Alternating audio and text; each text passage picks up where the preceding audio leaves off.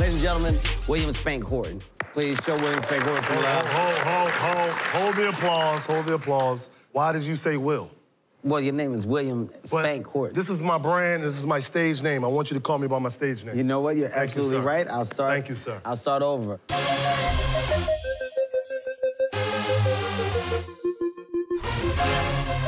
Uh, ladies and gentlemen, Spank Horton. Spank Horton.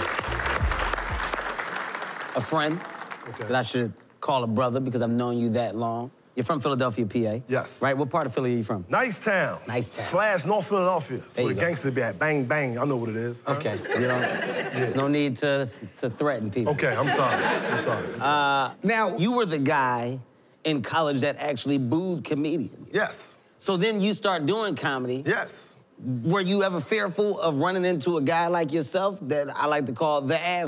Yes. The, uh, yeah. Yes. What- why did you uh, Why did you boo comedians? What was your thing? Because on college campus, I was known to be the funny guy. So whenever, I always had my same seat at every show. It would be like, you see how you got these rows right Mm-hmm. here? I'd be right in the middle, dead center. Right in the middle, right there with my man at right So here. they can see you. So they can see me. Eye right. contact. Right. And then everybody look at me. If the comedian ain't doing good, everybody look at me like, it's that time. Then I would just stand up. Ah. Ooh!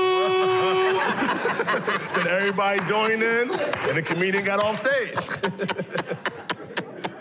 What a dick! What a dick! Uh, But mind you, at this time, I didn't know it was a craft and all that. This was before I was thinking about it. I was just like, yo, every comedian should be funny if they get on stage. you know? Yeah. What sparked the decision to pursue stand-up comedy? Kings of Comedy came out in 2000. I remember leaving the theater and a couple people saying, when are you going to get on stage? Really? Yes. So was there a weird transition for you when you tried to start doing comedy? Was there a weird separation from being the, the instant funny within the group and then trying to be the guy on stage? It was a transition regardless. It's gonna be a transition because you're in front of people you don't know. Mm-hmm. When you're in front of your friends, they know you, so they know you're about to be funny. But when people pay and they don't know you, you got to be funny. Yeah, so it's a different- it was definitely a transition. It was definitely a transition though. I've seen you grow and develop from the comedian that at one point had the three to five minute sets, and those five minute sets grew to 10 minute sets. So Sir. take this stage and do what you do best. I'm proud of you, man. I'm happy for you. Next level, brother. Go do what you do.